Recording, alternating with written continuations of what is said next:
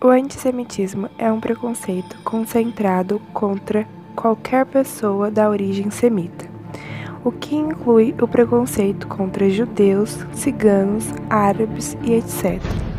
Foi criado no final do século XIX na Alemanha. Há um filme criado nessa época com a propaganda nazista a favor ao antissemitismo chamado O Eterno Judeu que foi um documentário em longa-metragem. Foram impressos milhares de cartazes e fixados em várias cidades para divulgar o documentário cinematográfico produzido pelo próprio governo nazista e realizado para disseminar uma ideia do judeu como inimigo da sociedade alemã e novício a ela.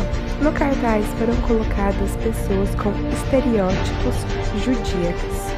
O Holocausto foi um massacre cometido pelos nazistas no período da Segunda Guerra Mundial, em que mataram judeus e outros tipos de pessoas que eles consideravam inferiores, mas os judeus eram os alvos principais desse ataque. O Holocausto foi arquitetado por dois membros do partido nazista, sendo eles Reinhard Heydrich e Heinrich Himmler.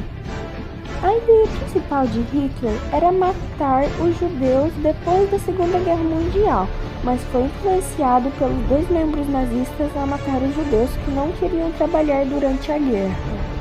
As primeiras ideias de exterminar os judeus eram matar eles de fome ou metralhar eles. Porém, ambas não deram certo e Hitler acabou optando por campos de concentração onde forçavam eles a trabalharem até morrerem ou campos de extermínio onde matavam eles nas câmeras de gás. O maior símbolo do Holocausto foi o campo de concentração chamado Auschwitz.